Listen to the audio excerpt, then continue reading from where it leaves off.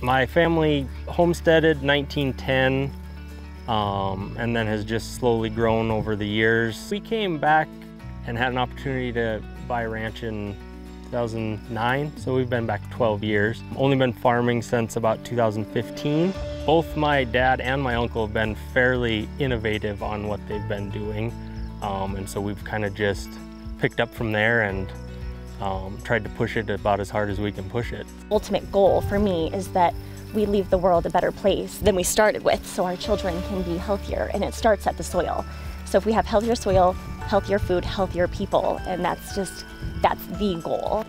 We were given the opportunity the last several years to work with NRCS on some very specific programs. Two EQIP programs are built around the farm ground soil health, so we've gotten the stripper header and able to put the disc drill across more acres.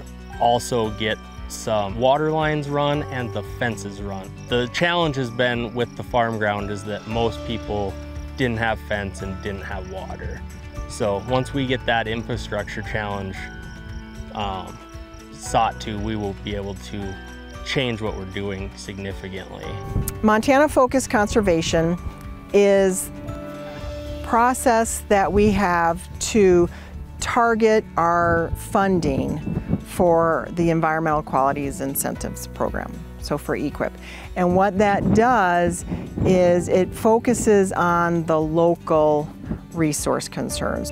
In Liberty County, soil health was the concern, was the top concern, so we wrote, we call them a TIP, Targeted Implementation Plan, focusing on soil health, targeting the more progressive producers who have been to soil health workshops who are trying to dabble in this on their own and we could come alongside and really raise the bar. Our main goal is to try to at least cover all of the five soil health principles. So we've added a lot of diversity. There wasn't a lot of different crops in this area until recently. So we we're growing six or seven different crops on our place where we used to grow spring wheat, winter wheat, barley. They're using a disc drill, converting from a hoe drill to a disc drill so that they have minimal disturbance at all. They roll together and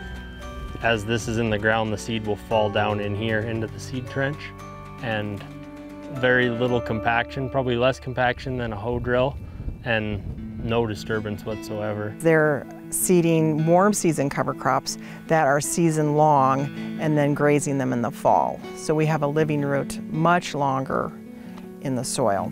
The weight gain on the cover crops was surprising. This will be a winter stockpile. We'll probably hit this in December or January when things up at the ranch are a little snowy or whatever. Where we went through everything up there fast and high, so we just top it we'll go back and regraze that all again this winter. This is a field we grazed about 20 days ago. So there's 15 acres in here and we put 175 pair in here for about 30 hours.